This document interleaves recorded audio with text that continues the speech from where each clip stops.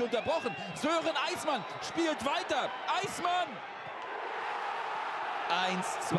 Treffer zählt. Es ist eben Granatowski, der das Spiel von sich allein anhält.